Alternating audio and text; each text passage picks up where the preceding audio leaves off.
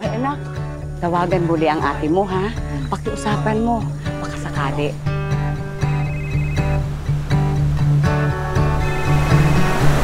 Hello ate, pinapa-follow up lang sana ni nanay yung padala. May problema eh. Ikaw na lang kaya yung sumulak. 300, pwede na. May hilingin ako. Gagawa natin ng paraan. May pakiusap lang po sa ni Mayor. Eh, hindi daw po magamit yung speaker sa may munisipyo. Baka daw po pwedeng mahiram yung sa inyo. O yung mga bisita dito ha, magandang asal pa iralim, huwag bastos. Mga yagit ang putra, guys. May vacancy na daw sa Olongapo. Anong trabaho? Kahera. Sa bar. Paraan lang yun. Para makatisod ka ng foreigner. Nasanay na tayo na lahat ng mga babae dito sa atin, pinalaki para umalis. Ate, bakit ano nangyari?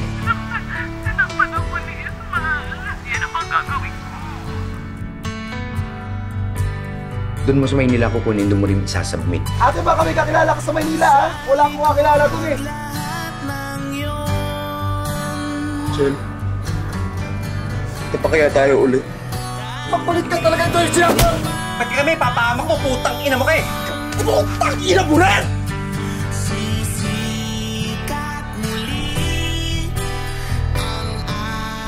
Sabihin mo sa akin kung ano yung dapat kong gawin, ate gagawin ko.